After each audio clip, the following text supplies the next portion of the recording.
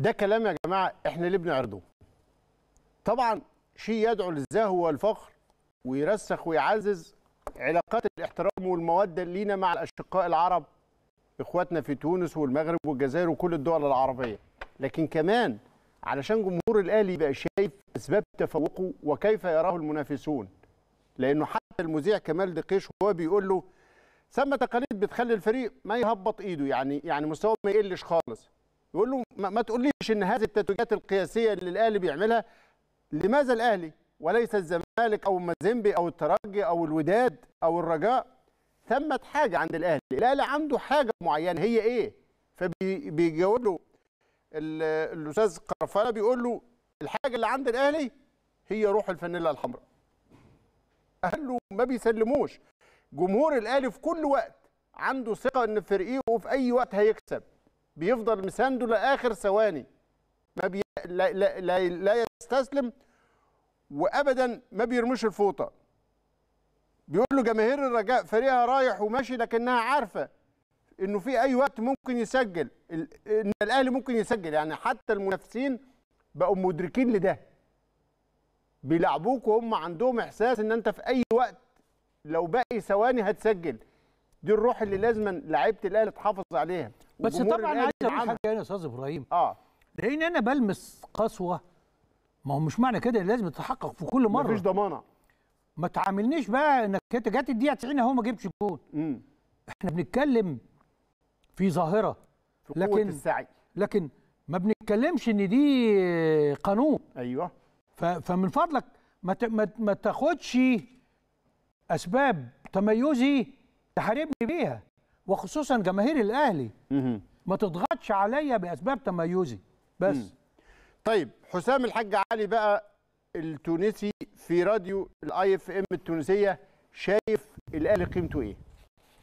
تعود حسام الحاج علي مع الأهلي المصري إنه مثلا في الشامبيونز ليج تلقاها من الأول فريق ماهوش شادد روحه إيه بالكدا إيه إيه. في الدور التمهيدي فوالا في الدور التمهيدي قديش من مرة يلقى صعوبات ويتأهل بركلات الجزاء وبال- ونقولوا الأهلي سنه حكايته فارغ اغزر ترشح بيناتيات في الآخر يهز التيتر إيه، إيه، إيه. شنو تفسيرك ليه؟ اي اي اي كيما قلت أنت تقاليد في اللجان نتاعهم. أنا معناها بالتجربة نتاعي معناها عاشرت معناها بوتريكا والجمعة معناها نحكيو ديما نحكيو على الموضوع شنو يقولوا. لك؟ شنو يقولوا؟ يقول لك شوف يقول لك ملي تدخل. ريتك مثلا ديما ما نحبش نقول المقارنات اما بار- بارفوا انت أنت في الكوريز يسالش- بتقارن يسالش- كيما تقول ريال مدريد في أوروبا.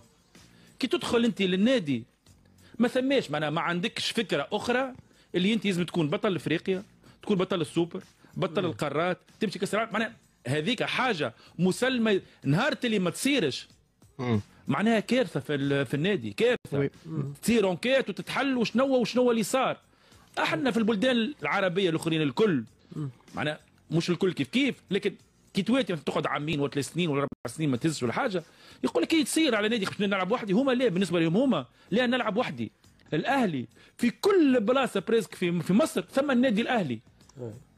هو فيه السيكسيون الكل وفيه ال- ال- ال- الكاتيجوري الكل وفيه السبور الكل وفيه كذا وفيه اشتراكات وفيه كذا والانخراطات، يصبوا الكل والانخراطات. لا ولي جون والتكوين. انت مثلا انت وانت مثلا انت وإحنا 120 مليون نسمة زاد 120 مليون نسمة. الأهلي قداش من محافظ ولا حاجة في مصر أحسن joueurات اللي في المحافظة الكل يمشيوا للنادي الأهلي ومن بعد يجيوا donc عندها مفتوح على مصر الكل باش تجيب لي meilleurs joueurs أكثر مداخيل أكثر sponsors أكثر كل شيء يمشي لشكون يمشي للنادي يمشي الأهلي. donc مدرسة استراتيجية كاملة. واستقرار. استراتيجية كامله واستقرار. ومش بدات اليوم. مش بدات. اليوم أنت آه، أخي الانتخابات وقت اللي تصير في آه، البيرو نتاع نتاعها المشاركين منخرطين كي يقول لك أنت بالرغم مثلا تو مثلا تو مع الرئيس السابق 10 مرات قد الانتخابات الرئاسية والتشريعية نتاع والرئيس تونس السابق فاز. بطولات في كذا أما ثم الوقت المدة تصير انتخابات وتصير منافسة واشتراكات وتدخل. مش إحنا عندنا برشا نوادي في تونس كان مش نقول 90% بالنوادي. يقعد رئيس النادي أربعة وخمسة وستة وسبعة وثمانية وعشرة حسب و12 رأيك علاش على خاطر و17. في تونس النادي في حاجة ديبوندون من. الرئيس نتاعو. الوغ الأهلي المصري هذه حاجة مهمة. ياسر. راهو الرئيس. يا حسام الرئيس هو مجرد يشرف موظف. يشرف مشرف يشرف هكا يا لا يمول ولا يخرج. من مكتوب إحنا ولا جمعيته. يمول وحده. دونك. أنا نشدها الاهلي المصري. وليد قرفاله تحطه رئيس تعمل استراتيجية باهيه نتاع ايمن بتجيب النجاحات. وكذا. بسرعة بسرعة بسرعة بسرعة. ديتاي حسام آه، اليوم علاش الأهلي بصراحة خلينا نقولها و- وهذيك صحيح لازم يكون موديل ومرجع للنوادي الإفريقية. حوار من القلب. لا في افتعال بالعكس. ده في جدل وفي ناس بتكمل بعضها وتقطع بعضها لكن كل جدل في اتجاه إيه؟ لماذا يتفوق الاهلي مش واحد بيقول له بيتفوق يقول له لا لا لا سيبك من الكلام ده. ده بيقول أنا الأسباب دي يقول له لا أنا شايف إن الأسباب دي. ويبتدي يقارن الوضع عنده آه، في تونس. فيرى أن آه، الأهلي بشعبيته في كل المحافظات. الأهلي حتى وإن بدأ متعثرا في المجموعات والناس تقول إيه حكايته؟ نقول له انتظر سوف ترى ينتهي الأمر بتتويج. فدائما البدايات لا تشهي بالنهايات بالنسبة للنادي الأهلي مع إنها المفروض ده مثل يقول لك البدايات تشهي بالنهايات. ولكن هو بيقول حتى عصرت أجيال أبو تريكة والجمعة وغيرها وغيرها وغيرها مفيش خلافات أو اختلافات بين الثقافات وبين القناعات وبين التقاليد التي تقود آه، الجميع. وبعدين قال وفي النادي الأهلي كمان ما هو آه عندهم عشرات الملايين من المشجعين في جميع آه، المحافظات ولكن رئيس النادي هو يعمل لصالح النادي الأهلي وكان يعمل عند النادي الأهلي.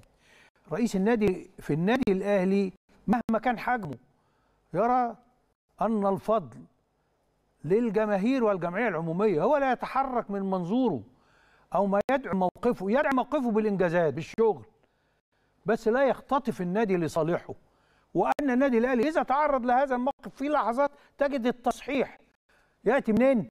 من الحتتين دول من الجمعية العمومية والجماهير الواعية جدا.